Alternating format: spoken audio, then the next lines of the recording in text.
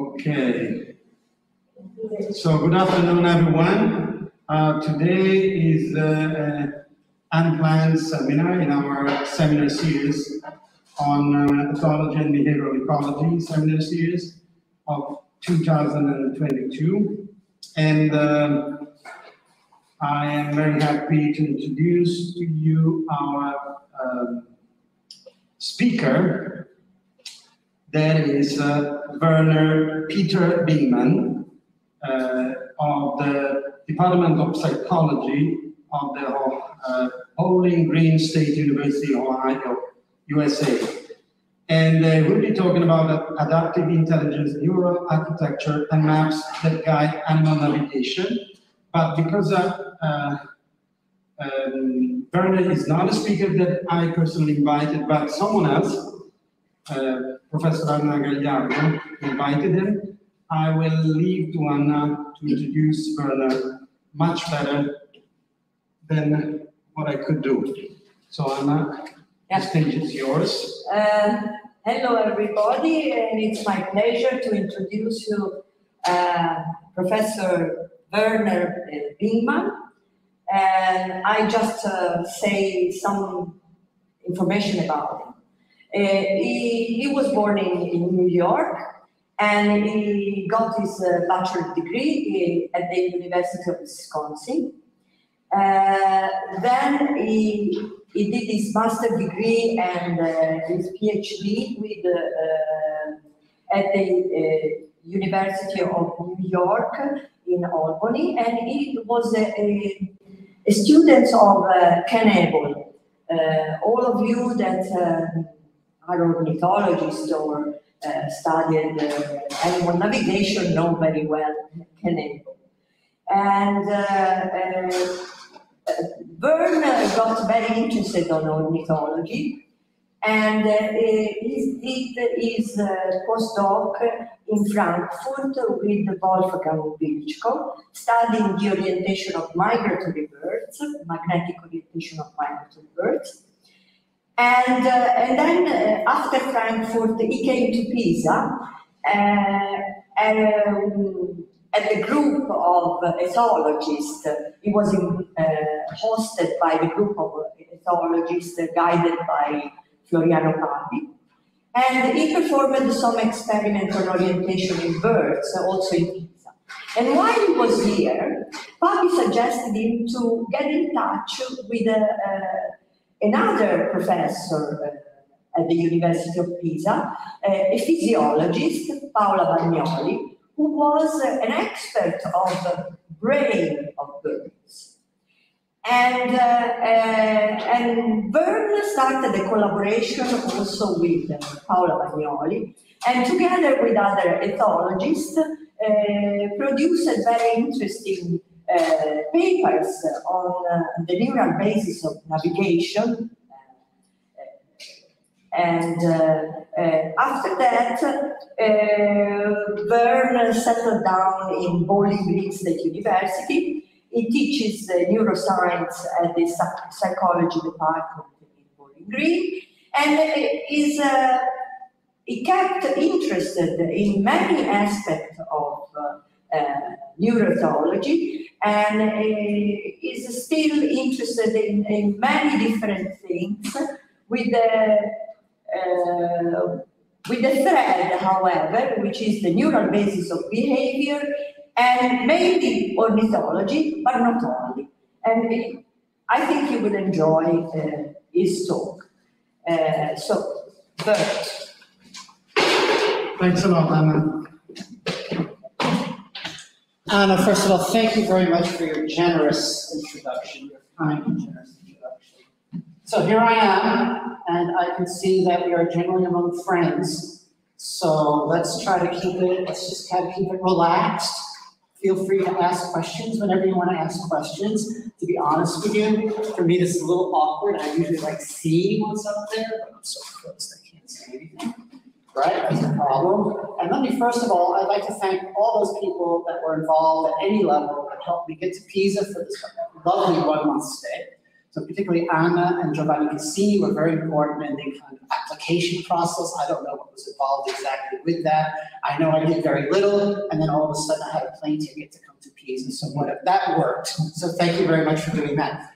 And I would like to thank the entire Arnino group. You know who you are. You've made this month absolutely enjoyable for me. I enjoyed very much watching you guys doing your research. I enjoyed these social activities. I very much appreciated the camaraderie and the collective kind of sense of mission that you guys shared, Arnino. You have a fantastic group. I hope you appreciate that. It's, it's truly an excellent group. I mean, I just really enjoyed not just working with you, but watching you work. It was just thoroughly enjoyable. And you know who you are, so I won't, I won't start naming names because I might leave someone out and then they hate me I don't. I, that, that would be very nice, right? I was told to have an hour, which probably scares you. And let me say hello, by the way, to thousands of people out there in cyberspace that are listening to this talk. Well, welcome wherever you might be. Okay, all right. So I was told I have an hour. Uh, I have a, the bad habit of speaking quickly, especially as the seminar gets later, as it progresses. I get lazier, I get quicker, I start swallowing words. Uh, but Anna, I told Anna to kind of give me the high sign when things start getting a little crazy. An hour seems a little bit too much, but I have lots here, and I'm going to gauge you. You tell me what you want because there's a lot of information here.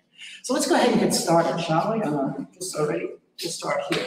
So it occurred to me when I was thinking about this talk that I'm presenting at what you guys call dialogues in ethology. Dialogues in ethology. And what it forced me to think about is how much ethology has changed since, say, the 1950s, right? So the ethology emerges as a serious science in the 1950s. It's confirmed as a serious science as the Nobel Prize was, was given to von Frisch and Kramer and Tinbergen, Kramer, Lorenz, sorry. I'm thinking you're, we're the navigation people, I guess. Uh, yeah, right? And you think about the founding principles of ethology in terms of innate behavior, right? Evolution and innate behavior, releasing mechanisms, things like that, fixed, you know, fixed action patterns. And something happened, and, thing, and what has happened in ethology and animal behavior in general, this started happening in the 1990s, is that there was a gradual transition, I think an exciting transition, away from the historical roots of ethology, again, in the more innate evolutionary based, genetic based behaviors into things that are more clever. In other words, there's the emergence of what we call animal cognition. And I think about when I took my ethology class in 1970, whatever, by a guy named Jack Hailman, who was an eminent ethologist. And the, these ideas of cognition and problem solving, right, creativity, some of the things that you guys are saying, would be impossible for him to understand. He would think you were insane right? Because really, at the essence of any study of animal cognition is trying to understand what we might call, in an undisciplined way, mental processes, right? And for the old ethologists, you cannot measure mental processes, so you only look at behavior, right? Somehow along the way, we've gotten the courage or willing to admit that there are underlying cognitive processes called the mental processes, through which different types of information can be organized in different ways to enable quite clever behavior. Again, some of the work that you guys are doing would be an example of this. A partial legitimization of this kind of new ethology, if you're going to call it. Some people call it animal cognition, but I would call it new ethology or something like that. Was a conference that I was invited to, oh, maybe 10, 15 years ago in Frankfurt, where there was a, this, this session on animal thinking. This is another thinking. Animals think. The classic ethologists thinking, my God, that's crazy. And what was really exciting about this conference is that they identified four domains, right, of animal cognition. Let's not call it thinking, let's just call it animal cognition. This included decision making and planning, right, usual stuff, communication, knowledge, including social cognition, okay, and then they included navigation. I thought that was great, right? Because navigation is often not considered in the context right, of animal cognition and complex behavior. Okay, so if you think about the compass mechanisms, there are innate compass mechanisms that can be calibrated. If you think about the navigational map of birds, way it's constructed, if you go back to Wallraff's gradient model, some of you might be familiar with Wallraff's gradient model, it, it captures spatial information as an algorithm, and algorithms aren't necessarily clever, they work, they're fine, they're not clever, they're not creative. Algorithms are creative, input, output, done. Okay, but this was actually quite fascinating, so I really I appreciated that, and I was glad that navigation is there, and so it legitimizes questions about cognition and navigation, which is kind of what I'm interested in. Okay, let's keep going here. All right, well, let's first get some context, okay? Um, I particularly wanted to include some of these, I usually don't include these things in this talk, but I've had so much fun hanging out with Lorenzo that I thought, hey, let me throw in some kind of bird migration stuff. So let me introduce you to the lark sparrow, okay? Well, let me not, let me, let me figure out what I'm doing here. Told you I was gonna do this, okay? Going the wrong way. Are we going backwards? Here we go. The lark sparrow. So if Lorenzo comes visiting me next year, this is not a rare bird. It's not a rare bird, okay? It's not rare, but it is rare in the eastern United States. In fact, the most western population of this bird is in northwest Ohio right here. It's a lovely bird, by the way. Right? And you can see the you can see the lark, lark sparrow. What I'm offering here is nothing other than an example, right? And this, this kind of contradiction with the genius of navigation and bird migration and how routine it is, right? How can something be extraordinary and routine at the same time? Okay, but we all know that these, these migratory birds are remarkable navigators. They just they don't just fly north or south, okay? But rather they, they come back to specific breeding sites, they come back to specific overwintering sites, they return to the same stopover sites, and the lark sparrow is just one example of thousands of examples. This is not really special in any particular right? What is special about this is the use of the geolocators. These are little geolocators. These are relatively crude devices that can record approximate position of a migratory bird as it migrates. The problem with the geolocators is you have to get them back to download the data, like the old GPSs. But the beauty of these lark sparrows, okay, is they come back to the same field. It's the same field in Northwest Ohio. So we were very lucky. I mean, you get these numbers. We had 20 geolocators. We, saw 12 of the birds. We captured six of the birds. Three of the geolocators didn't work, so we were left with three, three birds. It doesn't really matter, right? And you can just follow their migration. This is kind of interesting. And, for the ornithologists among you, what's also interesting about this bird is just this phenomenon of molt migration. I'm not going to talk about that, but if you're interested, ask me. Right, so you can follow this. So the gold line is basically take during their fall migration to the overwintering sites in central Mexico down here. Again, is, there's nothing really special about this. And then the green line is they're coming back, and you see they come back to the same field. This is a field. It's like four soccer fields, five soccer fields. Call it 10. Call it 10. 10 soccer fields. Come from Mexico, comes back to the same spot, right? So this is ordinary, though. That's the interesting. It's fascinating, but it's ordinary right? And again, you could pick any species, but I had these pictures and it was kind of nice. I went with this, right? You have a problem. You like the lark sparrow. That's good. Okay, and so let's now move on, if we can. Okay, this is not me anymore. There we go. Right, so what is it? What are, what are the underlying mechanisms that enable this navigational ability? What are the underlying mechanisms that enable this navigation ability? And as you're all familiar, many of you familiar, I should not assume that you're all familiar, that's insane. As many are familiar, what birds have are maps, right?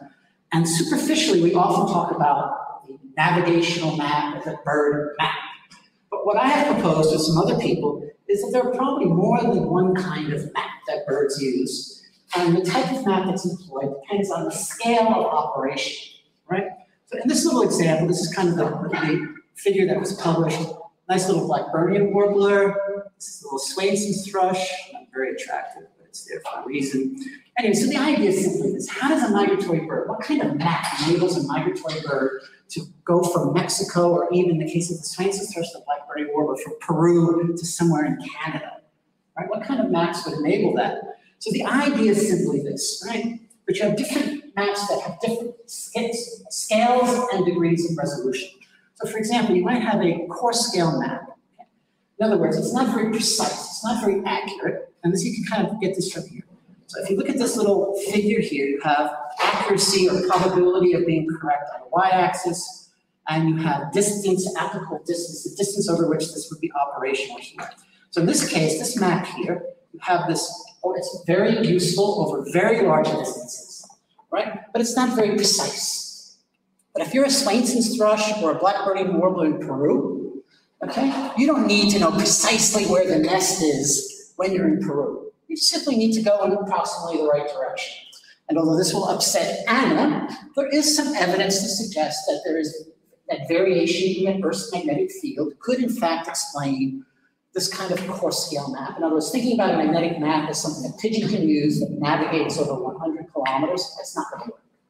But if you're navigating over 5,000 kilometers, 6,000 kilometers, if you could extract some crude positional information from variation in Earth's magnetic field, then why not?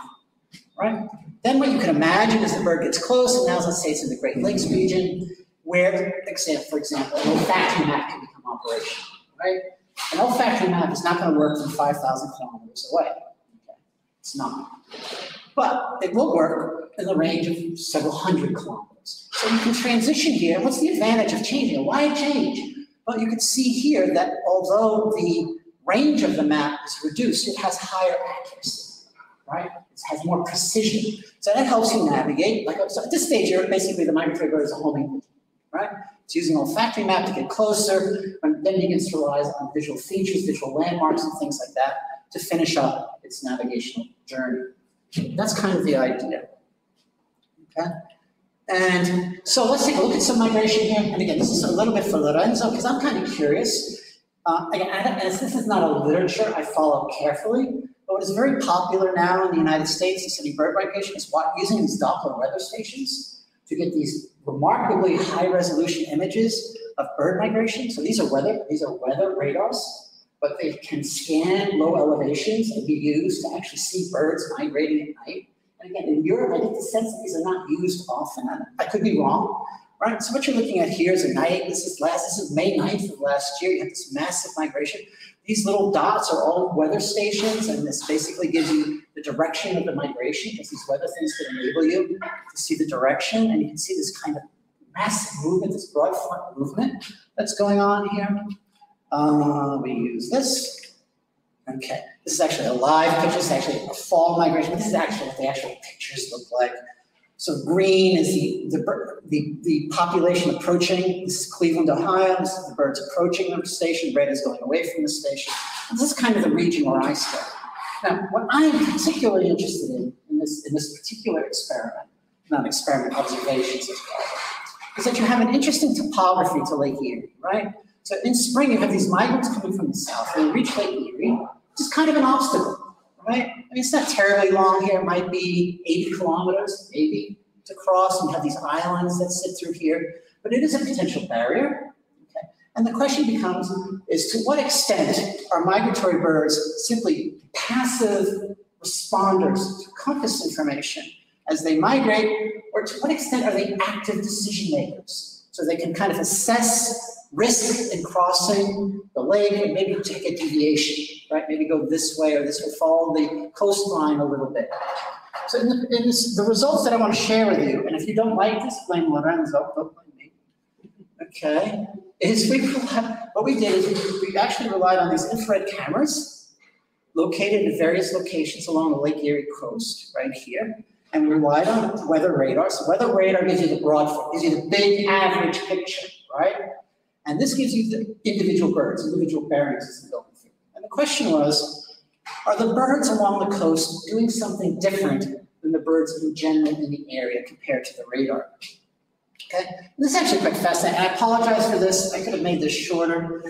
But to read this, each of these dots is the bearing of one bird that goes through the infrared camera, right? So you're sitting here recording, I do have a video of it, but it's not here. Okay? And these are two locations. And what I want to simply highlight here is the following. Okay? That this is the typical direction of migration, the so-called broad average direction of movement. Right? So typically to the north, northeast. So these are individuals, and these are average for single nights. And what you can see here is that along that Lake Erie coast, yeah, birds are crossing the lake, but a lot of birds are deviating to follow the lake shore. This is kind of, kind of interesting, right? So the shortest route to their destination would be this way. But no, they're saying, no, I don't want to cross the lake. I'm going to go and follow the lake. I'm going to follow the shoreline. Right, but again, if you're, if you are a practiced scientist, you know that there's some problems with this, so let's look at the better data, and these are the better data. Guess let's focus on this, shall we? So here are our locations. This is the, this is the weather radar in Cleveland, northeast. This is Bowling Green, away from the lake, northeast. This is a location where the topography is neutral. Okay, this Maumee Bay, it's on the lake, but there's no leading line topography. And then there's Cedar Point, right? Which is really not very far. This is five kilometers, maybe, between here and here. But you can see here, there's a leading line topography that the birds can go in this direction and stay along the coast. Northeast, north northeast, north northeast, north northwest. You can see a lot of birds going to the northwest. Wow. So there's a lot of birds that are re- that are responding to a particular topography and altering their orientation in a way that can be interpreted as adaptive. How's it adaptive? They're flying longer. How's that adaptive? It's adaptive because it's not risking crossing the lake. What's the risk in crossing the lake? Well, weather. There are, you know, in spring, there are unstable weather systems. It's not unusual. There are reports in Lake Michigan and other places, thousands of birds get caught over the lake as thunderstorms approach and they die. Right? So there, even if it's a short water crossing, you know, it's not crossing the Mediterranean, it's not crossing the Gulf of Mexico, but there are risks associated with it, and these birds are assessing those risks. Another piece of evidence in support of assessing or decision making is what happens with winds, right? So take a look at this. These are Cedar, this is Cedar Point in Ottawa where we've made the observations. Okay, these birds will make a decision. They will shift away from their normal direction and follow the coastline. Some of them, not all of them, some of them. Right? But wait, what happens if the winds are out of the west? Right? What happens if the winds are out of the west? Then it's expensive, right? Energetically, making that change all of a sudden becomes energetically costly because you're going into the wind. Well, take a look at this, right? With, so if you look at Cedar Point, easterly winds, where moving along the coast will be helped by the winds, you have a large deviation, more birds following the coast. But now if the winds are out of the west, so it's costly, it's expensive energetically to follow the coastline, they head in the normal direction. Same thing in, at this other location, Ottawa, with, with, with tailwinds, they're more likely to deviate along the coast, although not all. With headwinds, less likely to do so. So these guys are active decision makers. Remember we talked about the four things at that little conference, decision making? Well, these guys seem to be making decisions in flight. And these are adaptive decisions that are kind of interesting. I'm not going to talk much about this. I'm going to actually skip this because I know I'm already over. I'm not over, but I will be. Um, but just to summarize, this is actually the same kind of experiment but done in the fall. So you're recording from the, basically the same locations, but these are birds that already crossed the lake. And the point is simply this, if you're already crossed the lake, that Lake Erie shoreline is no longer relevant, it's no longer interesting. You're there, you made it, move on. And you don't see any influence of the topography in the fall, which of course makes sense. You could argue that's even trivial, maybe, right? But you have to see it. It's trivial, but you have to confirm it, and here it is. So when that coastline is of no energetic or adaptive significance, it's completely ignored. That's, that's the message that would come out of this. All right, we move on. Now, let- let's move on to the, to the, to stuff that we are all familiar with. But I hope to highlight a couple things and do my best to kind of make Anna angry, that's always a good thing. All right? So, neural mechanisms. Birds are marvelous navigators, and that took me about only 20 minutes to say, right?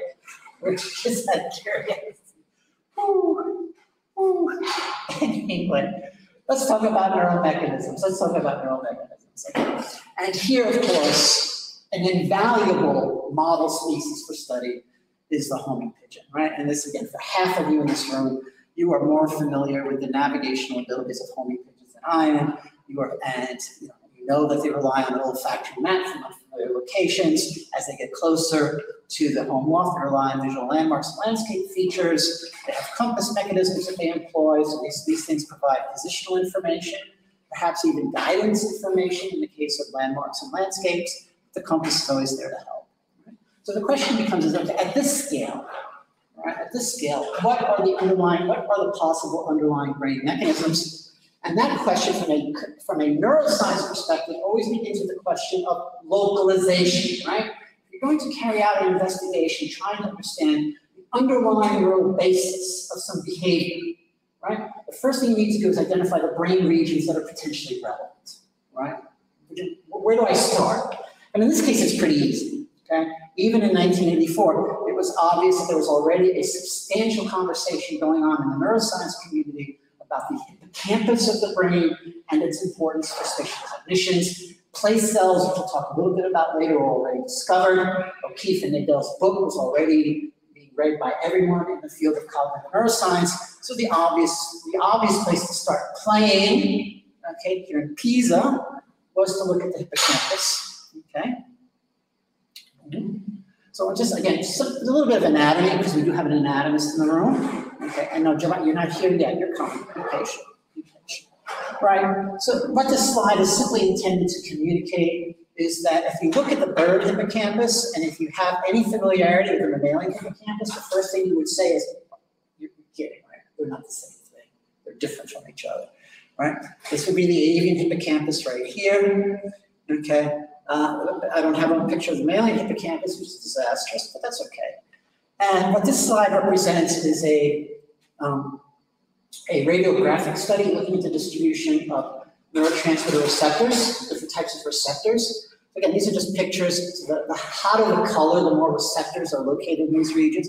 And the hippocampus is in here, right in there. And okay, so this is a glutamate receptor. Kainate is a glutamate receptor. Uh, here, what do we have? This is a GABA A receptor. Again, you look at this region, not this big hot red region here but this region in there. And again, you get variation in the distribution of these neurotransmitter receptors throughout this presumptive hippocampal region. The point is simply this. You did the same thing in mammals, okay? It would be actually quite similar, right? So this is mammal to the right. And you get kind of a similar distribution, which again supports this idea of homology. Okay, this, this, this disastrous image here is basically a summary of pathway connections. So you have the hippocampus somewhere here, and these are the inter this is the internal connectivity, which brain areas in the hippocampus are connected to other areas in the hippocampus. These are areas that are outside, and these make the connections. What's the point? The point is that there's also a considerable similarity in the patterns of connectivity between the hippocampus and other regions of the brain, which again supports this notion of homology. And what this image shows you, these are actually an image from when I did electrophysiology. I didn't do anything with students, and I postdocs in electrophysiology. So these are electrodes that went into the hippocampus, and you see electrophysiological responses that resemble what you see in mammals. So like, so if you look at anatomy, if you look at kind of, if you look at uh, transmitter distribution, if you look at connectivity, if you look at response properties of neurons, all that evidence is telling you that, yeah, they're the same. They look different, sure, they look different, but it's the same structure which again legitimizes the idea of looking at campus, right, and homing. This is actually worth, this is a, this is a detour, but this is actually worth doing. This is worth talking about for many of you, especially if you have any interest in neuroscience. Right? What's, what this mess is describing to you was a study that I carried out together with other neuroanatomists. We came, we met together, and what we did is we tried to put together a global map of telencephalic connectivity. Giovanni, you'd be interested. This is actually quite fun for you right? So you see this little circle here? What you have here, all these different colors are what are referred to as modules. So anything within the same color, right? You have strong connectivity between those brain areas, okay? So you have, right here, you have, basically you have, this is like a super module. So you have light blue, dark blue, it's a super module, hippocampal. This is red and pink, this is super module with submodules, and you have auditory, visual limbic, visual, uh, visceral limbic, that's fine. All these little lines basically describe where we know there's connections from one brain area to another brain area, right? So we know that this parahippocampal region projects to all these other regions in the blue, some of these regions in the light blue, kind of put that together. There is a bottom line here. Don't get lost. Don't get lost. What's the difference between the big circles and the little circles? The big circles are what are referred to as hub nodes. So these are brain regions or nodes within a module that is strongly connected to the other regions in the module, but also connects outside the module. So if you look at the bird brain, there are two things that I want to highlight here. Okay? Bird. Okay? One is, is called, what we have here is modularity. Okay? So there are clear subdivisions or modules that have different functional properties, and they are dissociable at an anatomical level. They're dissociable at an anatomical level. But there are hub nodes, okay, these big circles, that mediate connectivity across different modules, enabling what we call integration, right? So you have both this modular organization and this capacity for integration across these different functional elements. Sure, let's call it that. Okay. And the important take-home message is that this kind of modular but hub node integration organization is exactly what characterizes the mammalian telencephalon, including the neocortex. We have very similar underlying connectivity architectures the mammalian brain and the avian brain. And the reason why that's relevant is that if you look at it historically, right, birds are stupid, right? Birds have only become smart since the 1990s, then all of a sudden they're doing all kinds of great things, right? Starting in the 90s, they're stupid until the 90s, and boom, they're not anymore, right? And one of the limitations, of course, was that birds had brains that weren't particularly sophisticated. Wrong, okay? Because if you look at this level of organization, you have a similar kind of architecture. So whatever the mammalian brain does with the neocortex, the bird brain can do kind of the same thing without a neocortex. Second important point, but I want to highlight is that there are there's a dissociable hippocampal region and a dissociable what do you call it, this associative region. Okay. This to me is interesting. So this the key structure here would be, of course, the nidopallium. Anne was one of the first people to study the nidopallium in birds. People forget that, but it's true. People think about Onur Gunturkun as the nidopallium guy, but Anne actually started before he did.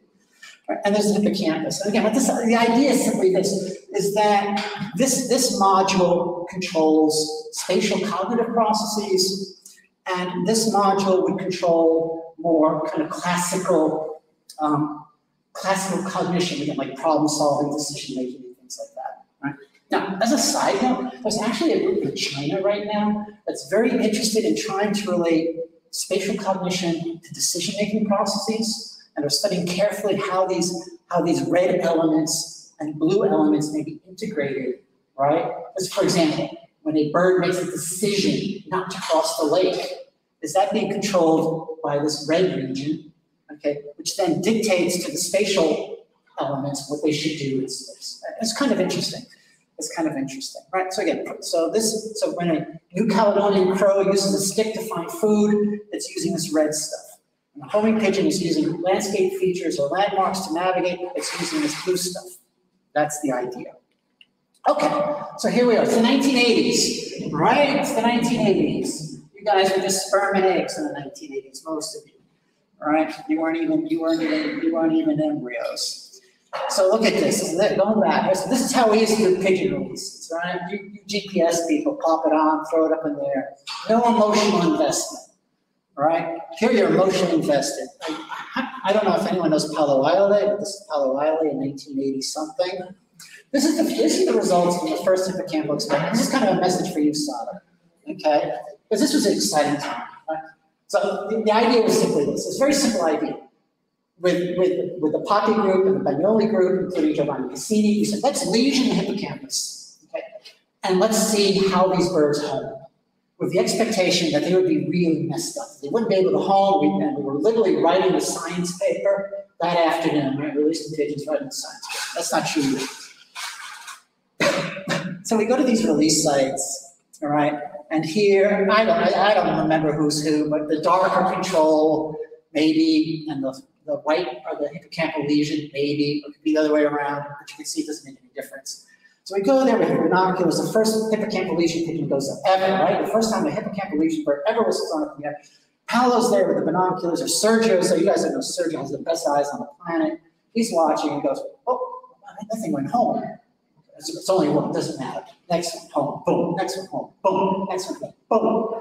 It's just going It's like, all that work, the lesions, they spend hours, days, weeks, because then we didn't know what we were doing. Because something we lesion here, we lesion there, you know, it's it was unknown, right? We are pioneers.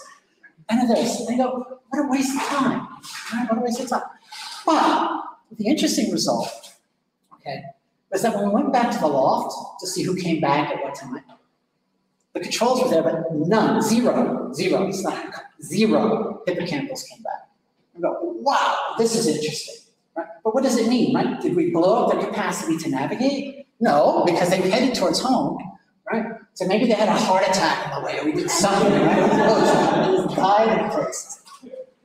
But, but the bottom line is, what we gradually understood, however, is that, well, let me just go back. I won't go back, it's too hard to go back, it's too slow. That their olfactory navigational map was completely unimpacted, okay, by the hippocampal lesion. So they knew where they were from these, these are actually pretty far away. This is thirty-one kilometers, So this is close to Siena, sixty-eight kilometers, that's pretty good, huh? You guys don't do that anymore, those days are over. Um, anyway, um, what became clear is that the olfactory navigation map was fine, that local navigation phase, the landmarks and landscapes were being used, they could not use them as effectively. Now, there's a reason why they didn't come back, and we quickly understood what we needed to do, so they would eventually come back, right? Because no one wants to do histology, right? So it's actually good news, no histology, right? The birds don't come back, no histology. But that's very hard to publish that. Okay, so we figured out what we need to do to get them back. But even when they came back, it took them much more time to get back, right? It took them much more time to get back. Okay, so let's move on, but not that way. We'll go this way. Okay, so again, this is even now, this is actually pretty old. You can see the old GPS device here, right? Don't, we don't use that anymore. This is, this is a, uh, this is a, the, the Lomo one, right? Right?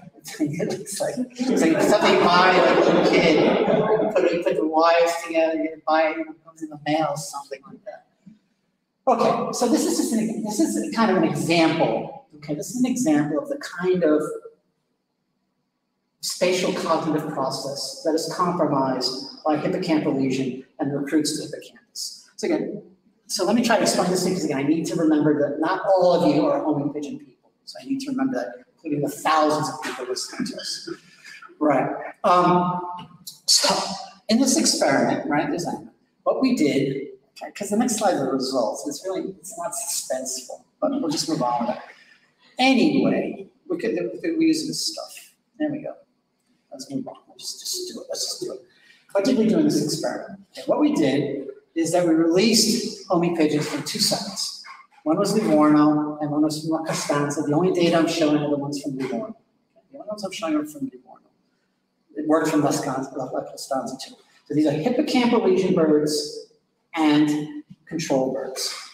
And they're repeatedly released six, seven times, I don't remember, from La Costanza and Livorno each. The idea is we are enabling the birds to acquire landmark and landscape information, in to engage the hippocampus to learn a route home based on landscapes and landmark features. On test day, okay, what we do is we carry out a phase shift or clock shift. Again, not everyone knows what a clock shift is, but the intent here is to send the birds off in the wrong direction. Here's the logic. On test day, we purposely manipulate the birds because their, their, their olfactory map and compass is going to be prioritized, it's going to send them in the wrong direction. Question, now you're going in the wrong direction. How good are you okay, in correcting for that error? Because a corrective reorientation, and that's up here. Look at that, there it is. Corrective reorientation is a hallmark of a cognitive map, right? What do maps allow you to do? They allow you to be flexible, right? To alter your behavior, change your behavior in light of new circumstances, to be creative in problem solving. And navigation is a problem, and sometimes there's a detour, sometimes the road is blocked. What do I do? If you only know to go straight, turn left, turn right, you're doomed. But if you have a map of space, oh, I need to go over there, let me go this way, that way, you can do. Right, so again, this is not the best way of presenting this, but it is what it is. So this is the test day. So each of these lines, each of these lines is the path of the route of one bird. Okay? Here's the release site in Livorno, familiar to many of you. This is, I don't think it's the same site, though, neither here or there. Right, so let's look at the controls first, okay? And you can see that many of them go off in the wrong direction. Not all of them, some of them correct immediately. They kind of bounce around Livorno, but then they head back home. Is it good, is it bad? I don't know, but it's a baseline. This is the baseline for comparison. And this is where I really have to, I need two slides here, because they build up the tension, right? But you already know, right? I already know there's no tension, it's fun. Wow, wow. right? Again, um, do they get back? Sure, they get back, and we can have a conversation about that, but that's not the interesting thing. Look at these birds, right? They are clearly, their capacity to carry out a corrective reorientation is clearly corrupted because of the hippocampal region. This is what a hippocampus gives you, right? This kind of cognitive mapping ability to carry out a corrective reorientation. If pigeons do not have a hippocampus, that capacity goes up, right? You know, look at this guy. Look at this. Okay, it's only one, right? You take the, now, what is that? What does a pigeon do over water? Right? You're biologists. It dies, right? It doesn't. They don't swim. They don't float. What is it doing out there? Okay, so this is kind of the classic example. This is the. There, we have, you know, Anna and I have done hundreds of these things, right? And they all basically give the same message. But and one, but one thing we didn't completely appreciate at the time, okay, was again this curious phenomenon of hippocampal lesion birds heading out to sea. Okay, again, this was the most dramatic one. This guy was just an idiot. Okay, but this guy goes, this guy, this guy, this guy. Look at this. Goes around. Okay, the scale here is a little bit bigger. I get it. But still, what the fuck? There's nothing out there. Birds don't, pigeons don't fly over water. Question. What is it about a bird without a hippocampus that leads some of these birds, some of the time, to violate a clear topographic boundary. There's the possible and there's the impossible. Even a control bird knows not to try the impossible. These guys don't recognize this boundary. So this was in the background. I didn't really think about it too hard, right? I was, just curious, but okay, it's what it is. The, the important result was, of course, that they were, they were worse at the corrective reorientation. Right? That was the big thing. So, years later, because as you know, Anna loves the GPS thing. She'll put a GPS on anything, so watch out. You may put Velcro on your back one of these days and something like that. But this is actually, Anna said, listen, you know, if you go back to the 1980s and you look at that first hippocampal region study, all you had were vanishing bearings, right? All you had were vanishing bearings. You know, maybe there's something out there. So why don't we take hippocampal lesion birds, take them to places they've never been to before, right? So here the, re the release sites are out here. I don't know what the release sites are. It doesn't really matter. But they're far away, where the olfactory map would be used. And let's see what the GPS tells us. Let's see how they fly, right? Sure, let's do it. So here we are again. Okay, this is, you whoa. This is one of my favorite pictures, by the way, all right? This is Anna playing to the pigeon god, praying to the pigeon gods, or this Paolo who's always happy. If he's out there with a sandwich and his stool and his hat, he's a happy man. That was my daughter many, many years ago. She's now way too old. And you've seen this picture before, I'm sure. You've, okay, and you have to remember you're not all homing pigeon people. These diagrams are almost impossible to follow. Okay? Pay attention to the words because you're not going to see it. Okay? You're not going to see it. But if you're truly brilliant, I'll simply tell you what's going on. These images are of birds. So this is before the hippocampal lesions. So this is before and there's after, right? If I remember right. No, there are two groups. It was before and after. It was before and after. Okay? But each release is from a naive, it's from a, a naive site. Right? So this is actually the flight paths of the birds close to the home loft. So the thick line is before lesion and the thin line is after, or it's the other way around. Does it really matter? No. Oh, it's written there. Look at that. You figure it out, because I can't. And all these things are telling you is what we saw before, that after hippocampal lesion, they're taking less direct flight paths near the loft, no supplies there. Right. The more interesting thing, the crazy thing is outside. Okay? So again, thick lines mean something, thin lines mean something else. But when Anna analyzed the data, this is all her, right? I want to be clear. What she discovered was something truly extraordinary. What she discovered is outside the area of familiarity, right? Where the birds aren't relying on familiar landmarks or landscape features. So where the olfactory map is operational, right? And the compass mechanism is operational. I still laugh at this because it's crazy. The birds with hippocampal lesions actually fly straighter right? They're actually straight. So again, the way you read this, each of these vectors basically summarizes how straight a path was in individual birds, okay? And the longer the arrow, the straighter the path, less deviations, right? Less deviations. Oh, oh, oh, that's a tree. So these are the controls, and these are the hippocampal lesion birds. What you can see you look at the R if you want to. But these things, they're both homeward oriented, okay? But these are longer on average, significantly so. For those of you who think about statistics, I am not among you. But if you think about statistics, as Anna does, good for her, it's a significant difference. This is extraordinary. So how do you interpret this? Well, we know that there's a vast body of literature that tells us, okay, that when homing pigeons home, they're not simply navigating home, but they often often either they're either responsive to underlying topographic features, right, or they're exploratory, right, so they'll avoid this, they'll follow that, they'll go to different places. It's a kind of exploration. And that's why these vectors tend to be not 100, right, straight home. No. The idea was that the hippocampal lesion birds were somehow unresponsive over this unfamiliar terrain. The hippocampal birds are unresponsive to the visual features of the landscape, whatever those visual features may be. And okay, now you guys are ready for this, right? Because you have to pay attention.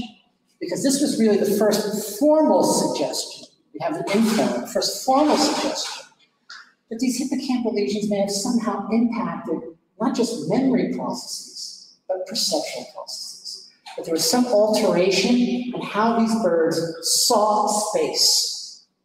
Either they had incom incomplete visual fields, the capacity to, to attend to particular stimuli. So it could be, for example, an example, there are numerous clinical human conditions, right, where an individual can only see one object in a scene. So I could see, I could see, I could see Julia, but I can't see anyone else. Right? I, have, I can't put the whole picture together. Okay, maybe that's what's going on here, right? They only can spot one thing at a time, or maybe there's a kind of visual neglect. Maybe there's a part of the visual field that they're not seeing. Who knows, right? But the point is, they had never been to those places before. It can't be memory. The behavioral effect of this treatment cannot be a consequence of them not remembering something because they were never there before.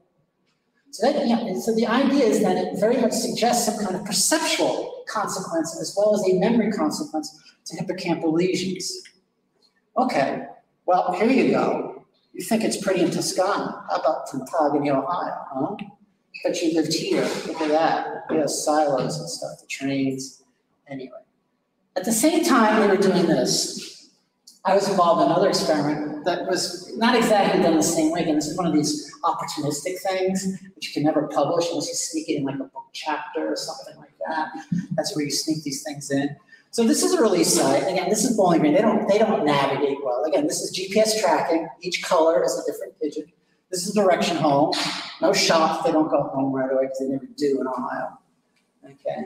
But these are control birds. Take a look at this. These birds are released here. Home is this way, but for some reason they want to go to Tontogany. Right? There it is, Tontogany. You see all that? Crazy. I don't know why, but they do it. Okay. Maybe they like the grain silo. There's a little cafe there. Maybe they like the cafe. I don't know. These are hippocampal lesion birds. Right? So again, they're just as disoriented. They're going all over the place. But for some reason, they don't display the same attraction to Now again, do I have statistics? No. Do I need statistics? I don't. You might, but I don't. right? But, but it's, it's the same thing. Right? It's the same thing. Right? They're just, but this green guy did it. Fine, good for you. One. But this guy just, this guy is flying towards the top and keeps going. Same deal. Another thing. Now, let me piss off, can I piss off Anna? Do you mind? I piss off? It's okay? It's good? All right. So, this is something I'm really interested in. Right? And I have been desperate to try to find some collaboration with someone who does eyes, has eye scanners, right? So you put eye scanners on birds, and the idea with hippocampal lesion, they display less, there's some change in their scanning, visual scanning ability, so they're not sampling the visual space in the same way, which would reflect in some kind of perceptual consequence to the lesion, but that hasn't worked. So I said, Anne, let's do something crazy, right? Let's take the birds somewhere where it's featureless, where there's nothing, right? Except some kind of distant visual cue. And let's see if these hippocampal lesion birds and control birds respond the same way to a featureless space with some kind of distant visual cues, right, that would guide them. So you probably know already what we did, maybe not. Let's, let's just go out to sea, right? So Anna has a good friend, let's go on the sailboat, right? So we're out there, this is actually Livorno, I'm not gonna show you Livorno it, because they're not as pretty. You never show those, right? This is something, I think this is where the Genovese beat the Pisans in twelve hundred something, right? There's some chains hanging in the cemetery, I don't know. Anyway. Apparently you don't either. Okay, right. See, there are the pigeons, there are the pigeons on the boat, they don't like flying over water either, right? And if you've done pigeon releases, you know they do land sometimes, sometimes more often than not. So have hippocampal and control birds. Now, again, Anna says I've lost my mind, and maybe I have, right? But these are the control birds. So here's a release point, this is up north, okay?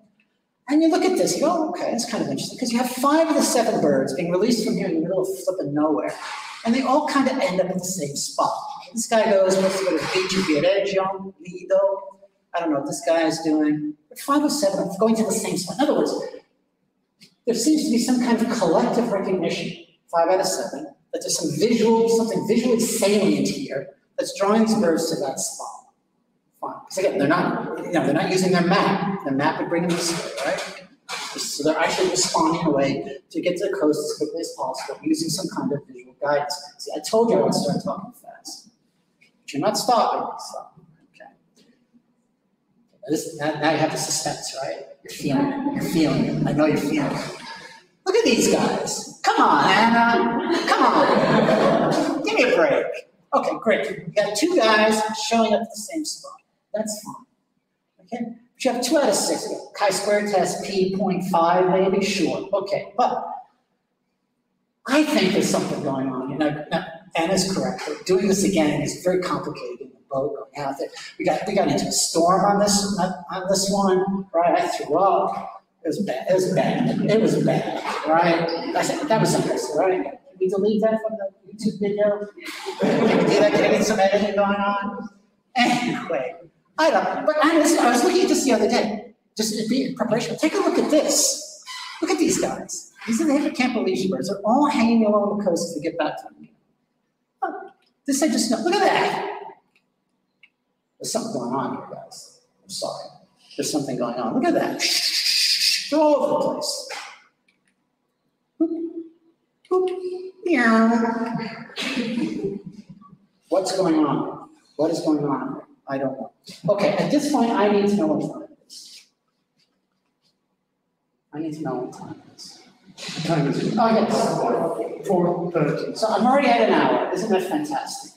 Okay, so, all right, so I'll, I'll have one more story for you. Okay, one more story.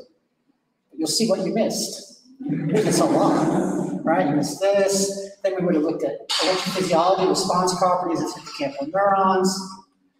This is this is fantastic. No, no, no, it's, I- no, in English it's tiring. No, I don't want to do that. But, you know, the other, the, You know, the the last we are now straight time, so take your time. Take your. No, but no, but you'll I'll, show you what I could show, Okay. and we can come back, let me squeeze one thing in that I want. This, of course, is fantastic, right? This is actually an interesting idea, because these place cells are, look, these place cells are unstable somewhat, the mammalian people call them unstable, but why? Um, birds see the world faster, right? Flicker fusion, you're familiar with flicker fusion frequency? Right, but birds, the vision of birds is like hundred and twenty frames per second, and humans like forty frames per second. So the world, movement in the world is much sharper, right? They literally live a faster world. Maybe that's why the place cells are unstable. That's fun, that's a fun idea. We would have talked about this, more importantly, we would have talked about these, this stuff, but this is fan, this is, but here's Giovanni, let's take a moment here, shall we? Shall we take a moment? The hippocampal commissure discovered by Giovanni Casini right over there as I blind him with this. And the point is simply this. This is, the, I, what I was going to share with you about is that, and this is actually highly relevant for SADA, is that there's a lot of evidence for functional as well as anatomical lateralization in the hippocampus, right? So, the, so it becomes very easy to talk about what the left hippocampus does and what the right hippocampus does. And this is a sobering reminder for you that you can talk about that, but they are strongly connected to each other. So this is a, these are axons. This is a commissure. This, okay? This is the, this is the commissure of Casini. Okay? The- All right? Casini something. Okay? And so, and so they're connected, right? So it's not like the left and the right hippocampus are completely isolated. And even if you're talking about visual system, visual system lateralization, even there, they're not isolated because we know the Wulst connects to the hippocampus, which then connects to the other side. These are just, these are neurons that we know. You inject pathway tracing substance here, and they get filled in here. So you know these guys are sending their axons going that way. Oh, this is going this way. This would be going that way. Anyway, but that is another story. That's another day. You have to have me back. Give me another plane ticket. Right, and then there's the aging story, which is really kind of fun, but that's not going to happen, is it? Okay. But anyway, these pigeons, as they get older, they're actually not as clever and their hippocampus becomes and their hippocampus becomes less responsive. So if you do an immediate early gene activation as you're relying on spatial memory, you get less hippocampal activation in older pigeons. That's kind of neat. All right. Although the hippocampus is bigger. Oh, what's that mean? I don't know. All right, moving on. Then I mean, this is actually kind of fun, we're not going to talk about this. But let me just mention this in passing. Okay, this is actually worth mentioning. Okay. The idea Brittany, hello. The idea is that there is evidence, particularly from a Korean group, that suggests that the maps that are created by animals, the Campbell maps, maps are not neutral maps of space, but what they call value maps. So the maps not only capture spatial relationships and spatial information, but they also capture differential reward outcomes, whether they're negative or positive rewards, right? So places where good things happened are highlighted on the map, things where nothing, something less interesting happens or less emphasis. You have more place cells where there's food, less place cells where there's no food, for example. Right? Do you ever get one of those tourist maps? Get peas and the leaning tower here, there's a big thing, right? So you have lots of place cells there, right? And then there's some little apartment behind the train station which you don't even see, or something like that. So the intent of this experiment was to see if, in fact, if reward property would impact the performance of hippocampal lesion pigeons. And the idea was simply this, that you had different places with different reward outcomes. Again, this is already getting too long. But you have a place where there's always food, like two pieces, two pieces of food always. Then there's a spot where you get five pieces of food, but only 75% of the time. There's another spot where you get five pieces of food 25% of the time. So you have risky locations, and you have one risk location where long term you get more, and you have another risk location where long term you get less, and then you get the predictable spot. Does hippocampal lesions impact that in any way? And of course it does. Right? There are two conclusions that come out of this. This is actually quite interesting. Conclusion number one is that it's not surprising, okay? I go this way. I go this way. It's not surprising, okay, that the hippocampal lesion birds make more errors. In other words, there's a spot where there's food, food, food, and places where there's no food, other bowls that are empty. And with a hippocampal lesion, they're more likely to make errors. Unsurprising, spatial error. They make spatial errors in these tasks. Right? The more interesting thing you can see here, okay, um, I'll get this some some point in my life. Okay, is that whoa? So fatigue. That's fatigue. You make mistakes just because we don't punish you. That's right, there you go. Fewer, fewer pellets. Anyway, the, the lesion birds consistently make more choices to the constant goal. Whether the higher probability, the, the 5, 75% of the time is present, or the 25% of the time is present. In other words, but birds, the hippocampal lesion birds also demonstrate a reduction in their risk-taking behavior, even when being risky, would produce a better long-term outcome. Right? If you come, if you go, and again, if you want to look at this, you know, I hang out with psychologists, unfortunately, and if you want to look at that, it's like they're anxious, they're suffering, there's an anxiety.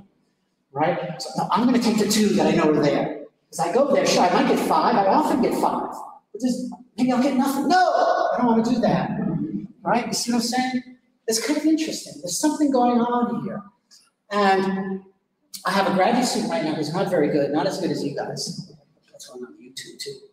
Anyway, and and, and um, he's actually doing this. So this is lesion birds. He's doing it in an old birds, he's seeing something interesting. What he's seeing is that their spatial behavior, their spatial memory is still pretty good, but they are, they also avoid risk. So in other words, if you look at the old birds as a model for aging processes, it seems that temperament, changes in temperament, anxiety, precedes actual performance deficits in space, right? So an old hippocampus is not as bad as a lesion hippocampus, right? So if you look at the timeline of changes in risk behavior, risk-taking behavior, and the timeline in the loss of spatial information, it seems that the temperamental change in risk-taking behavior is more rapid, okay, than the spatial behavior. It's a little bit too early to say, but I'm so glad I said it because I've never said it before. That was me. I was practicing, by the way. So thank you for that. But, okay, so again, but here's the bottom line, and this is also interesting. If you change the task, so the task is a spatial task, but different places, right? If you change the task so that you now have, I showed it already. They have just simply different colors, right? Blue, red, green, yellow. So the here the the you know the, this this this guy always has food. So so the discriminative, the discriminative element is not position in space. The discriminative element is color. And then hippocampal lesions have no effect whatsoever. I mean, it's a great little control. Look at that. I mean, there's nothing. That's why it's in black and white. Why show them color? It's boring. Like, but Enzo likes black and white photographs. I'm not convinced. But here, it's kind of the same message, right? Why put colors on this? They're identical. They're identical. All right. I'm not going to talk about the toads just want to sensitize you here that, uh, so we're going to, we're expanding now, moving on to toads. Uh, but this also is a nice little summary slide showing that it's not just birds and mammals that have the, the campus, but there are also reptiles, including crocodiles, which are more related to birds, and even amphibians have a medial pallium here, and I've been involved in quite a bit of research with a group in, in Argentina, looking at the medial pallium in relation to spatial And let me just give you the short message. Yes, it's important, right? Pallium is important for spatial cognition. Uh, Ruben Muzio, he's the guy in Argentina. This is Ines, a graduate student there. We, again, we studied this guy. And we did ge- test of geometry, which is a classic test of spatial cognition, and you get all the results, right? You get all the usual results. Um, they learn it, they get it, and they set feature and conflict with ge- geometric position. They prefer geometry and others. This could this could be here a rat. This, these data could be a rat. These data could be a pigeon. Okay, doesn't matter. And if you look at CFOS, you see that when they're relying on boundary geometry, you get more neuronal activation in the medial pallium. That's kind of neat, right? And in fact, if one wanted to, you can even study fish, right? So this is the presumptive. Whoop, this is the presumptive hippocampal region in Trias fish, should you want to go in that direction. So this is my last story. Okay, okay this is going to, sorry, there's about, again, I won't give you the, the backstory behind this, but I accidentally got involved in research looking at these things that are called whip spiders. I have no flipping idea what they're called in Italian. I can tell you that they're called Geißelspinnen in German. That should help, right? Geißelspinnen. Okay, these are fascinating animals. They live in tropical and subtropical regions. Okay, and they live a long time, 10 years, something like that. Again, they are not tree spiders, they belong to the order Amblypygi. Okay, so we're not in the, the spider order, but they are arachnids. And they are remarkable sit-and-wait predators. They have these absolutely vicious claws. They grab, they can eat lizards. I think there's a species that eats fish. They eat fish. And tropical and subtropical, the ones that I'm going to talk about, actually that's not true, but let's pretend, are found in Costa Rica. So they are nocturnal animals. So during the day, they go into a home refuge. They have a, they have a loft, if you will, right? And at night, they come out on these buttresses and they hang there upside down, or upside down, they kind of look like this head down, let's call it that, waiting for stuff to come by. Right? And then they eat it. And then, then, and then as sun, as day comes along, they go back to their refuge. Right? So there's a navigational element. And there's this old paper by these bizarre German guys from 1974. That's even older than me. That's not true. It's older than my academic career. We could only hope it's older than me, right? Okay, so this is in German, so you could practice that. But this is tree, and what they did is they did displacement experiments, right? like homing pitches. They took a, they took a couple of animals, moved them about, what is this, about three meters away, and then they watched them. Okay? And they saw, ooh, this guy went right back to the tree. Okay? So they displayed this navigation, this surprising navigational ability. Wow, that's kind of interesting. So now let's jump, what, 35 years later, and we say, okay, let's go back and look at this again, because the lead in this is a woman named Eileen Hebets who studies these things. Right, so we said, well, let's be fancy. What we're gonna do is we're gonna follow them at night. We're gonna adapt, put on these little radio transmitters, and we're gonna track them. We're not tracking them, we're getting positions, right? So you don't wanna disturb them, so the antenna has to be reasonably close, right? So you, you put on the transmitter, you displace them, and then you come back the next morning and try to find them. So it's not true tracking, okay? Just getting positions every morning. I talked to Martin about how we could track them, and we would say it useful. These are fine. Right, so these are kind of the data, these are just some experiments, some displacement experiments. You can kind of, the bottom line is they generally get back. There's about a 50% success rate in return. I think that's reasonable. So the way you read this kind of thing is this is the home tree, this is one displacement, this is another, this guy came back two nights, these are displacements of about, some of these displacements are three meters, some are eight meters, they're not always straight there. This reminds us of some of the pigeons that we're seeing right now, right? You look at this now, took it three nights to get back, it did get back. Right, goes to Viareggio before it comes back. But they do, they come back, right? They're successful navigators. We had one animal come back from 25 meters. Let me tell you something. Okay? What you have to fully appreciate, these things are not flying in the air. Okay, guys? Oh, well, that's good. You're in this dense understory, the ground is uneven, right? And they're navigating their way through this, to this, through this space. It's really, it's really amazing that they come back at all. Okay, what about sensory control, right? That's what we think about, sensory control. So we carried out some experiments. Again, this is, I, I realize it's getting really late now, but where we did two manipulations. One manipulation was we cut these antenniform, okay, so what's special about these guys? I'm sorry. What's special about these guys is that they have these very long antenniform legs. So they have three pairs of walking legs. So spiders and arachnids have four. These guys have three. And the front legs have, been, have evolved into these sensory appendages. They're extremely long. These spiders called whip spiders. They're able to move them around. Right? They're able to sample. And those whips are loaded with olfactory receptors, both contact chemoreceptors and, and true atmospheric olfactory receptors, including the mechanoreceptors. And the idea was, okay, maybe they're relying on some kind of olfactory signal in the environment to enable this navigation.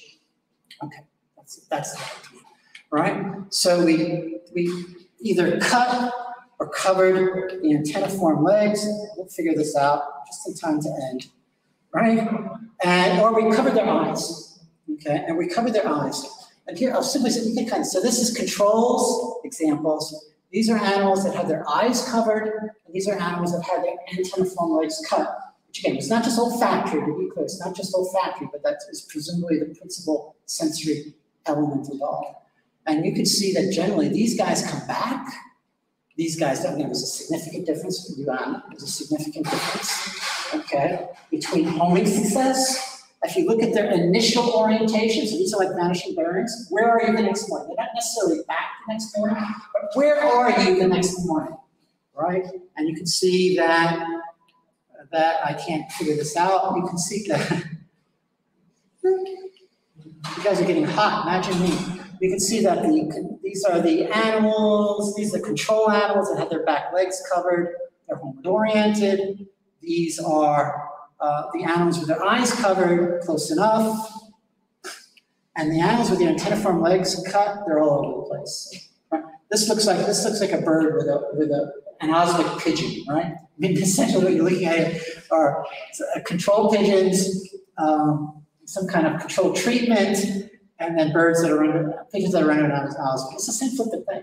Again, it's not necessarily, it's not necessarily um, olfactory, but it's certainly suggestive of that. Wow, that was worth waiting for. But we have more to say about this, and we're going to say it because we can. So, the idea is simply this. This is, this is the hypothesis. So those are the empirical data, and we should respect those. But theoretically, when we went into this project, the idea was that this navigation is so complex that it likely is dependent on what we call multisensory integration, right? Where multiple sensory inputs are combined to create a more predictive, a more reliable spatial representation of the environment. That was the prediction. The empirical data suggests that, you know, basically antenniform legs can explain most of the homing success, most of the navigation success. But in this experiment, we wanted to see if in fact this, this animal is capable of something as complex as multisensory integration. So I am going to take a minute. I know Narik is about to pass out. We're ready though. Support, so ready to call. You okay? Yeah. Okay. I'm not convinced. But anyway, so here's the experiment. This is done in the laboratory. Okay. And you have the animals are conditioned so that these guys don't like the light. These are nocturnal animals, right? So the way you condition them, it's not good, by the way. We need to get better control of these animals. Let's aside that. They're- You put them in the light and they want to escape from the light. So here you're using, you're basically using negative reinforcement, the opportunity to escape from the light to motivate the animals. It's not food, it's not water. And again, it's not the best control, but it is what we, it is what we use. And so the animals are allowed to escape from the light, and they go into a spot where, I will figure this out, they can smell a certain odor and feel a certain texture. So by the way, what I didn't mention is that in simple unimodal discrimination, these animals are very good at discriminating different odors. Easy. They're also very good at different, uh, at discriminating different surface textures, sandpaper, rough versus smooth. But in this case, you have two stimuli a certain odor and a certain texture that's associated with the negatively reinforced outcome of escaping from the light. You do this over and over again, and then you test them, right? So in the test situation, this is kind of the test situation here. I copied and pasted this in a ugly way. But there are three manipulations. One is you give them, let's look at this carefully. Here you give them only olfactory information. Here you give them only texture information, and here you give them both, right? So they're trained to the two stimuli. Question. How well can either of the single elements support discrimination? Or do you require me to figure this flipping thing out? Both stimuli to be present to enable successful discrimination. So here's kind of the animal in the arena, right? So you stick it in the arena, and this would be the CS plus, this would be the good side, this would be the bad side, right? And the idea is, do they spend more time on the good side? That is, that is your dependent. Something called an association index. So in this test, how much of the time do we spend in the spot where good things happened before? Okay? So for those of you with a psychological background, this is actually a test of configural learning, okay? And I'll get to that in a second. So let's look at the data. I'm almost done, Enrica. Patience. Almost there. So, as I've already told you, this is actually a control experiment we did. So this is how you read the data. This is the discrimination score, the association index. This is random. So if you train them only to the tactile cue alone and test them, you can see they show preference for the side, the, the, the texture that was good. If you only train them to olfaction, you show, and you can see here that they should show the association to olfaction. This is the critical result. This is a surprise, guys. I, I know you're tired and you're in English by now. Maybe half of you are listening, maybe, but I do have thousands of people out there in the, in the worldwide cyberspace. So at least half of those are still listening. This is fascinating. It's a little bit psychological. It's fascinating. Okay, so when you present both elements that were that control the training, the tactile cue and the olfactory cue, you get good discrimination. Yippee. Okay, that's not really a surprise. Here's the surprise, guys. If you present only the olfactory cue, nothing. If you protect, present only the tactile cue, nothing. The reason why this is fascinating is first, it is a demonstration of multisensory learning. Animals learn both the tactile property and the odor property of the good place and could only discriminate when both elements were present. In other words, they learned what psychologists call a configural representation, whereby it's the compound stimulus that controls behavior, and neither of the single elements can control the behavior. This is a relatively higher order associative process. It is associative, experimental psychology stuff. But this is a complete surprise. I now almost done. So it, what this tells us is that, okay, maybe in the field, we haven't really demonstrated the implementation of multisensory integration in support of navigation, but they are capable of it. They're capable of it, and that's fascinating. Now, we have a student working on an experiment right now that rather than doing multimodal sensory integration, tactile odor, we're simply doing unimodal sensory integration, two odors. Okay? Odor one and odor two. So instead of TO, you have odor one and odor two. And all I can simply tell you, that's all I know, is that the results are funnier, they're a little bit screwier. So it seems that it's easier to get this kind of configural learning when you have stimulus elements of different modalities rather than the same modality. But that's that's to be seen again. Some other reason giving another time technique. Wow. Okay, we won't talk about that. So again, of course, you always want to bring this, uh, and again, uh, some, as a passing note, for those of you who are trying to build a career in science, and if you're interested in behavior, you are certainly more marketable as a eventual as, as an eventual career in science and university if you could combine if you could get some neuroscience expertise. Right? Again, those of you, you know, the conservation biologists, the, the ecologists, and things like that, that's fine. But if you're a behavior person, to build your academic portfolio, you, are much more marketable if you have some kind of neuroscience in your in your you know, in your in your training. I'm getting tired. Anyway, what we really want to do is okay, so same question. All right, hey, Patriots Hippocampus, what about these guys? What you're looking at are these mushroom bodies, which turns out, so bees have mushroom bodies, ants have mushroom bodies, and they're much more experimentally accessible.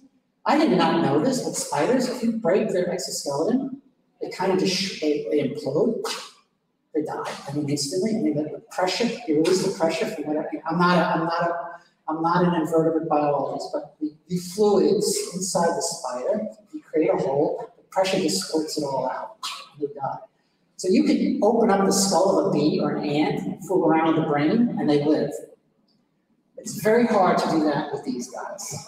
So there's a lab at Cornell University in the United States that does now a little bit. Spiders, don't love spiders, but spiders, but it's not easy. But anyway, we are interested in the mushroom bodies, but quite honestly, we've, we've tried to lesion them, didn't work, tried to do some things, tried to do some pathway tracing. This has been terribly frustrating, but I just, I just wanted to let you know I'm thinking about.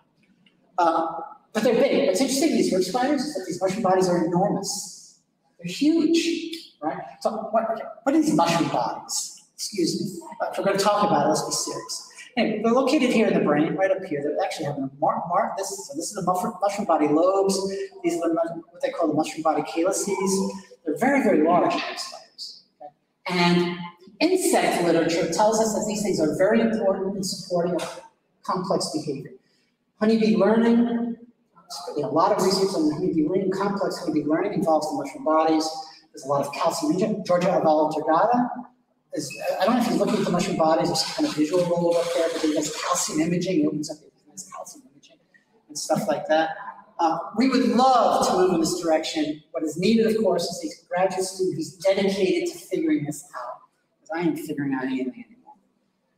No, I'm not. But so, and they're huge. And just leave this, a recent anatomy paper from by a colleague, Wolfie Gronenberg, which is kind of interesting. But what he has demonstrated anatomically is that in the mushroom bodies out here, you have convergent visual and olfactory inputs. Not tactile, but the point is this, that the mushroom bodies are designed anatomically to support multisensory integration, at least with respect to visual input and olfactory input. He didn't look at tactile inputs because he doesn't know where the mechanoreceptors go in and stuff like that. But again, it's, certainly this is kind of a proof of concept that there's some linkage between the mushroom bodies and multi-system integration and navigation, and this still needs to be elaborated. Hey, here's some good news for you. I'm done. Um, again, I just I sincerely apologize for that, but I just need a clock. Mercy. Okay, so that's good news. Let's not do this again. But you can blame Lorenzo for this because I added that, that bird stuff at the beginning, right, which is normally not in the talk because of Lorenzo, who's been enormously helpful. So thank you for that.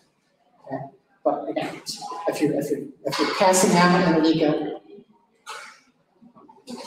Okay, I guess I can ask, answer questions, but you or, you know, many of you could just find, if you have any, for those, especially those who don't know me, right, or will not see me again, uh, you know, it's probably more important for you to ask a question than to ask a question. For those of you who might see me tomorrow at a meeting, maybe it's less urgent, because we find you then, when it might be a little bit cooler and you're sweating, but imagine how much I'm sweating.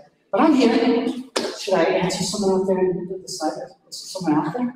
Uh, um, uh, Then uh, I I will start from the questions in the room, I will wait for those on the thousand people. The thousands, the thousand thousands, please. So, so first of all, uh, any, any question from the, from the room? Room. I have a few, but I wouldn't want to. No, no, no, well, okay, I see these guys, most of these guys every day, not every Don't be shy. Shy. Okay, they'll find me. Come on, we have a lot of pigeons and navigation people here. And they, they know all the answers. Right? Okay, I start. Please, Okay. but don't feel awful.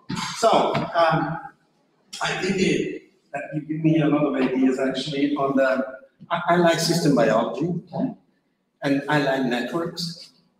So, once you start saying that it's a complex network, and if you modify the, the, the hippocamp, uh, the, the, the, the, the you modify, it's a network, so I would expect that to happen, that they get confused. Because the network is completely altered. So if you, you showed us that nice uh, network diagram, so, and, and you identified many, many um, connections with the, the, the olfactory region, with other regions, so. Okay, so, so you, you raise, you raise an interesting question. So, okay, so, so, okay, if you take your question to the extreme, if the entire telencephalon is a network, right? Because there are these hub nodes that connect different modules together. The, any interference in one location should have a diffuse effect on all those processes, and that doesn't happen, right? So with hippocampal damage, you get very specific deficits in spatial cognition, right? It's very specific. So for example, I showed that decision making with colors, they're perfectly normal. There's lots of things that birds can do perfectly well without a hippocampus, right? So, so what's the, what is the, what is the, the adaptive property of a network? It's just in general. The adaptive, critical adaptive property of a network is that it buffers against disturbance. If you, some, if a node in the network is broken, the other elements can compensate for that, that, that, that disruption, right? So networks are resilient to interference because the other elements in the network compensate for any local loss. So in memory, for example, memory network. Right? If one element of the memory is lost or something, doesn't lose the whole memory, the other elements stay the same. Right? So, so the message that I have is that um, that by doing a lesion, you are interfering with these, these networks, but there's enough buffering, enough protection in the telencephalic network such that local damage in the hippocampus does not corrupt other cognitive, sensory processes, communication processes. They're still able to support themselves. What you do lose, however, because of the tight connectivity within the hippocampus spatial module, that gets vulnerable, right? Because that lesion the APH area, so that hub node, which is what we usually damage, you lesion that hub node in the hippocampus system, that blue bit is now corrupt. And that blue bit can no longer be integrated into the other networks, right? So that's why perhaps you're having a problem. So, so now that space can no longer be integrated into the reward network, say of the basal ganglia, the striatum, okay, now the striatum is kind of free to do what it wants, okay, as opposed to being, being guided by space. And you now see the shift from being risk sensitive to being risk averse. Again, I'm not sure I'm answering your question, but that's kind of the way I think about it, right? I mean, the networks are good because they're buffering, but local networks are more susceptible to corruption. And if you look at that one image, that's, that's the story that comes out. Okay. And then uh, connected to that, uh, the risk behavior. uh, Yeah, that's fun, by the way. I wish I, I wish I could have explained that, because that obviously, it was. Yeah, risk behavior, I guess you, you have done uh, some experiments on bold animals and shy No, no, animals. no, that's what you guys are doing. Oh, No, no, no, no, no, I have not done that, that's kind of interesting. So, no, right, so there, there, there, we have not done that. We- I actually thought about that in the past, if that friend didn't want to do amygdala work. And the idea was to look at shy animals and uh, bold animals, which had exploring food cup. And then actually look at brains, and see if you get differential activation. in the amygdala. Just something you might also want to think about, by the way, right down the line. If, you- if, if your, if your behavioral characterizations are meaningful, if you did some kind of immediate early gene, you should be able to see activational differences in some particular areas. The place, the first look would be the amygdala. Right, But no, we don't need to do that because our, our groups are old and young, or lesioned or not lesioned. This is another dimension. You know, again, But wouldn't you, wouldn't you expect that hippocampal uh, lesion animals uh, that was bold at the beginning to become shy later after their lesion? yeah, absolutely. Okay, that's So, what you so what you're, what you're telling me then is actually quite interesting. Because there's, there's, there's an opportunity here to do, rather than between, those are between subject designs. If you did a within subject design, get an animal pre-operation, get some kind of baseline, find some bold ones that are always gonna go to the risky spot, lesion of the campus, Then you have to change the setting, and then see if they change, if the temperament change. That's brilliant. That's actually brilliant. And then related to that, I guess that even the value uh, idea, the, the, the, the Value map. Yeah, the value map. Yeah, Yeah. So. I guess that those values can be different in different, in different ecological systems or different habitats. So in one case, it could be a value that is associated with chemical or factory cue and others with uh, other type of cues. Do you expect that to affect the use of different maps in different ecological conditions? So that's, that, that's- again, it's a brilliant question. So our approach to this is not nuanced. That's not so, we just have these two groups. But clearly, risk is not a constant variable. So for example, a bird in summer, and a bird in winter, a bird that's hungry, a bird that's not hungry, right? So if you're, if you're, if you're starving and two seeds don't make any difference, you're going to risk getting five because two, you're dying anyway, that kind of thing, right? So certainly how risk is assessed is not only, it's situational, right? And if one takes into account these situational variables, you can come up with all kinds of things. You talk about discriminative stimulus, actually, I'm more interested in actually the changes in in motivational state. Are the, are the animals, the animals in a deprived state?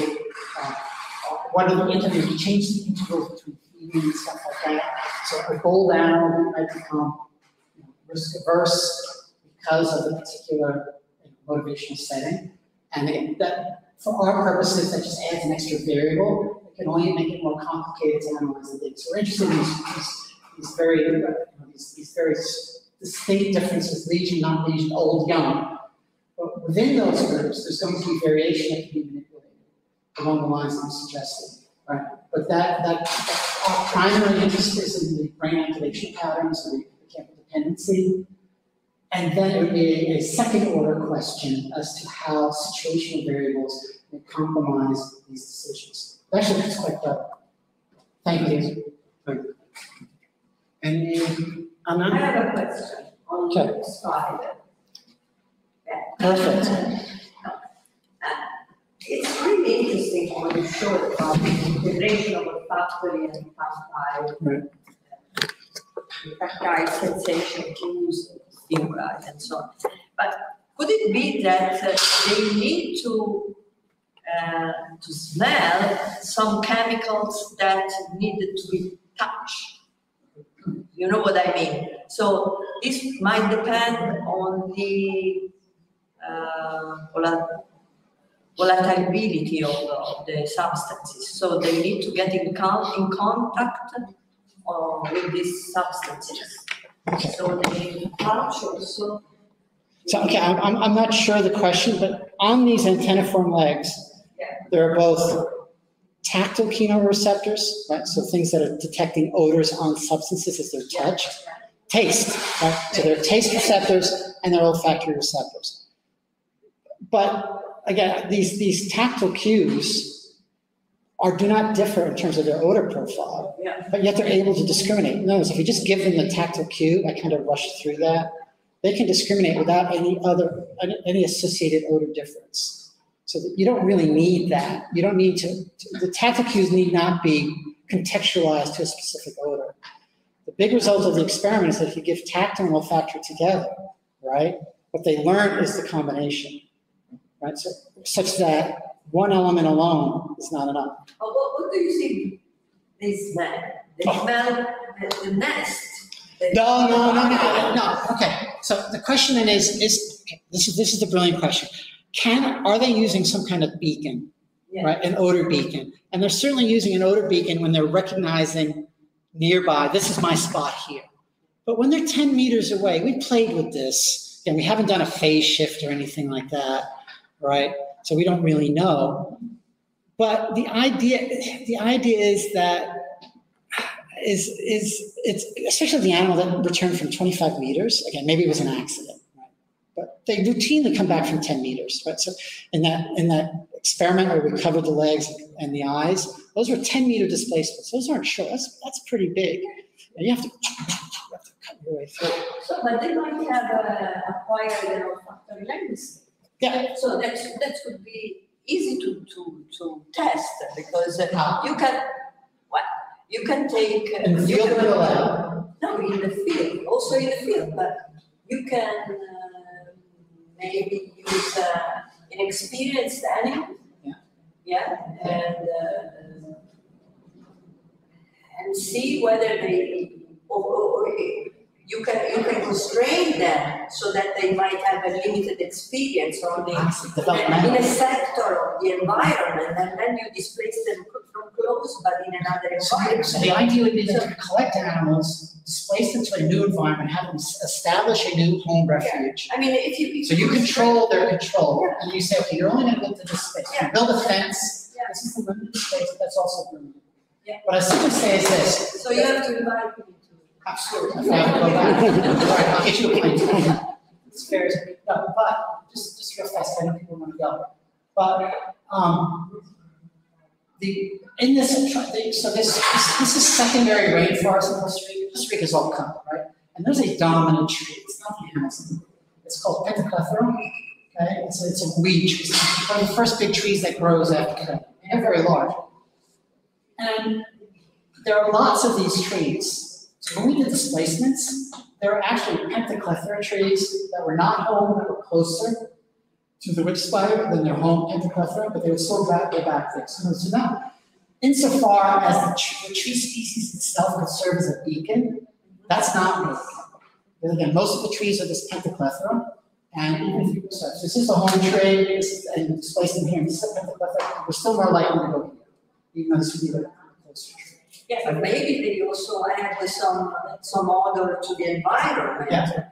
And also, different, even, uh, different trees of the same species might have a different smell, we don't know. Are they territorial?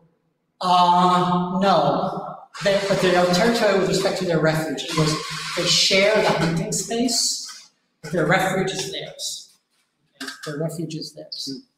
And for what, for what it's females are better than males, if anyone cares. Does anyone care? Okay. Females are better navigators than males. Is it, is it possible that you will solve to find Well, pheromone, no, because when we displace them, again, we don't know, we haven't followed us, we don't know where they've been. But We have to assume we're taking them to places they've never been to before. Yeah, So- but you don't know. I don't know. They're ten meters away, and we know that they tend to stay on this home tree or the buttresses of the home tree, they're not going on the ground.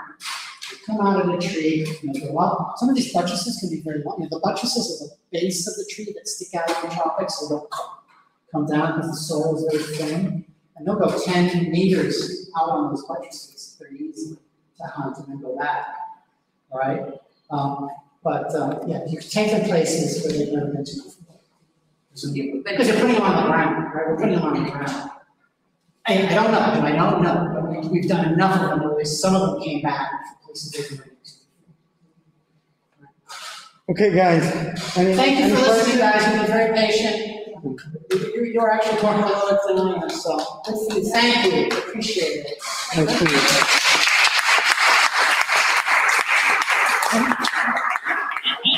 and to the, to the thousands of my fans in there in cyberspace.